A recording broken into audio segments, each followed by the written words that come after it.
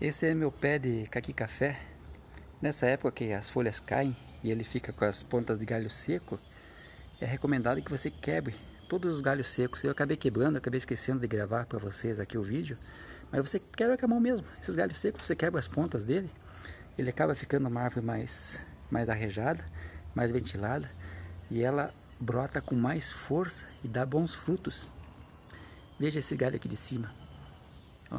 Aquelas pontinhas, quebra todas elas. Descarta elas.